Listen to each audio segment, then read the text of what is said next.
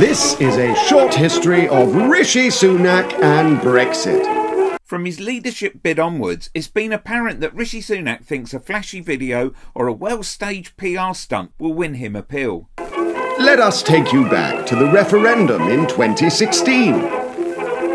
At the time, Rishi was a young MP under increasing pressure from his bosses to back Remain. Unfortunately, from not knowing how contactless works,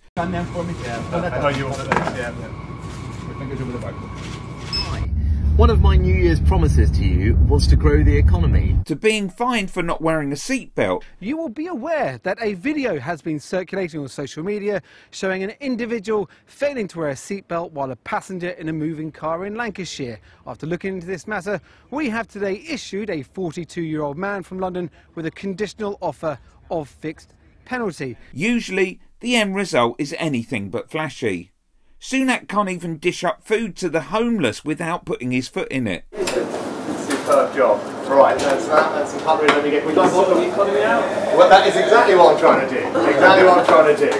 Um, there's for business. What, what do you have? A, you, do you work in a business? Do you want some No, fruit? I'm, I'm homeless. Uh, And now we have this bright idea a programme that gets Sunak to wish you a Happy New Year. Except people quickly saw the potential for fun and got Sunak to wish Nigel Farage a Happy New Year. Hi, Nigel. I just wanted to take a moment to wish you a very happy new year. Now, like you, I think immigration levels are too high.